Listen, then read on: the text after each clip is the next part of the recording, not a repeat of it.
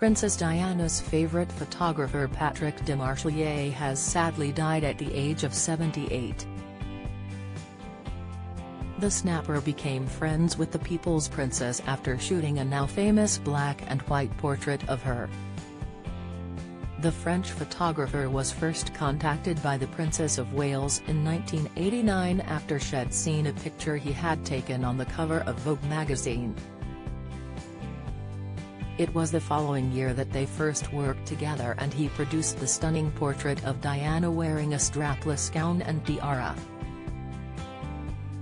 After that, Diana asked Patrick to become her personal portraitist, an unusual step, with him becoming the first non-British official photographer of the royal family.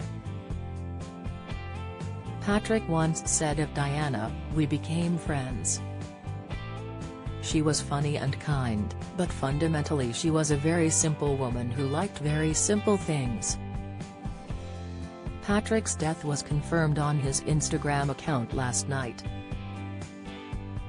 A statement read, It is with great sadness that we announce the passing of Patrick de Demarchelier on March 31, 2022, at the age of 78. Patrick had lived in New York with his wife Mia, a former model, and is survived by three sons, Gustav, Arthur and Victor, and three grandchildren.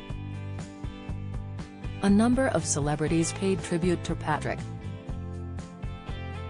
Actress Kate Hudson commented on the post, always loved working with Patrick so much. Very sad to hear of his passing. I am sending so much love to his family. Fellow photographer Mert Alas dubbed him a legend. And Billy Baldwin wrote, Oh no. Truly my favorite to work with. Kind generous, fun. He created the most marvelous and, at times, sensual atmosphere for all those who worked with him. One of the best there ever was. I will miss his creativity and that thick French accent of his. Model Christie Brinkley posted, I loved working with Patrick, I loved just hanging with Patrick on the many trips we did. I just loved him. He was a creative genius but in a casual seemingly effortless way, and he was fun and funny in his broken franglais.